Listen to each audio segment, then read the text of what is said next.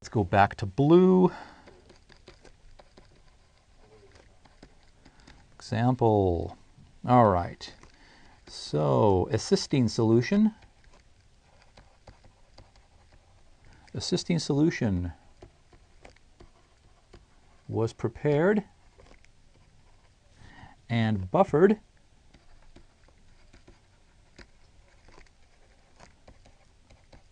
buffered to a pH equal to 8.2. I would like you to describe the degree of protonation protonation for each ionizable group. In other words, I'd like you to tell me, does this amino acid exist in what form? What's the total charge on it? Which group is ionized? Which group is not ionized? That's what it's asking. Okay, well, let's go ahead and take a look at, first of all, let's, this is biochemistry, it's chemistry, it's organic chemistry, draw structure. Okay, so cysteine, let's go ahead and draw it out as, you want to draw out the fully protonated form first and then make your decision.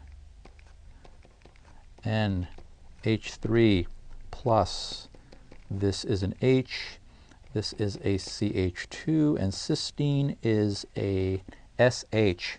Okay, so again, begin by protonating all of them. In other words, that's protonated, that's protonated, that's protonated. We have three ionizable groups.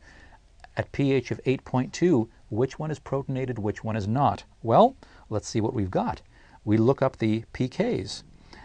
Well, the pK1 is equal to 1.96. Excuse me the pKr is equal to 8.18. So notice in this case, the R group ionizes before this group does. The pK2 is equal to 10.28. Well, now we just use our rule of thumb or reason it out. pH is bigger than pK1, right? pH is 8.2 we said the pH is 8.2, and we said the pK1 was 1.96. Because the pH is bigger than pK1, that implies that the carboxylic acid group exists as a carboxylate group. It's actually been ionized. It has lost its H. Okay, the pH, which is 8.2, it is, in this particular case, it happens to equal the pKr. That's interesting. This is 8.18. The pH is 8.2. and they're exactly the same. So this implies that, um, how shall I, I'm just going to write the group. CH2, SH, and the CH2 S minus, they exist in equal concentrations. In this case, the pH equals the pKa of the R group. When pH equals the pKa of the R group, that means the acid form, the protonated form, and the base form, the unprotonated form, exist in equal concentrations. So in this case, they're both like that. It's a little bit of this, a little bit of that, half and half. Exist in equal concentrations. Now, the pH happens to be less than the pK2. Again, the pH is 8.2, and this is 10.28. Well, this implies that the amino group, the alpha amino group, exists as its protonated form. The pH is less than the pKa, so it has not ripped away this hydrogen. It's still H3N plus. So that's it.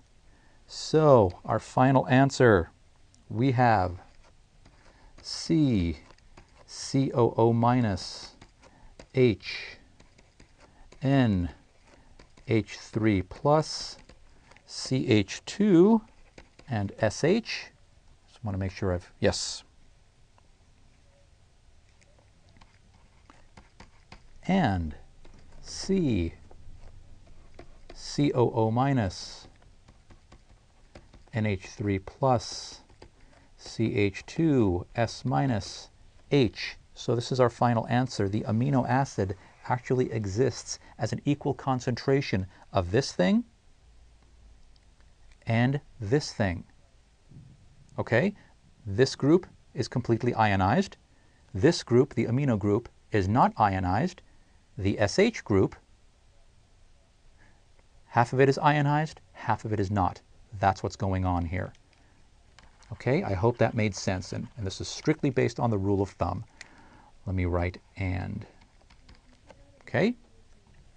And again, it's based on comparison of pH and pKa. Compare pH and pKa, compare pH and pKa of each R group.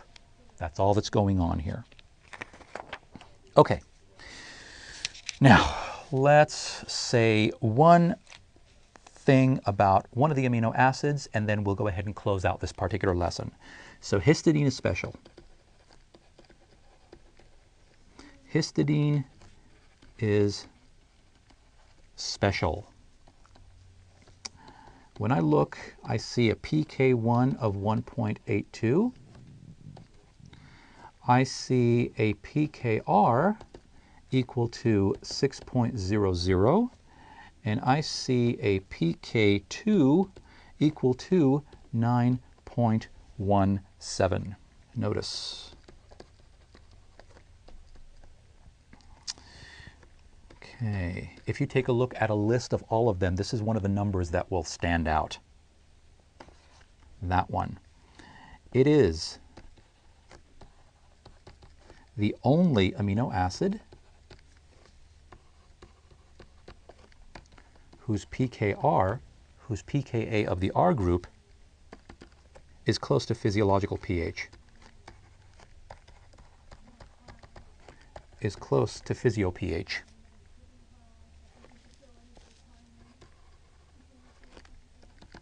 found in intracellular and extracellular uh, fluids. So the, the fluid inside the cell, the fluid outside the cell, physiological pH. This is the only amino acid whose pKr is actually close to the physio pH. Okay. It is, therefore, for um, actually not it is therefore I should say. Sorry about that. Let me go ahead and erase that. So it therefore has the potential potential to provide good buffering capacity.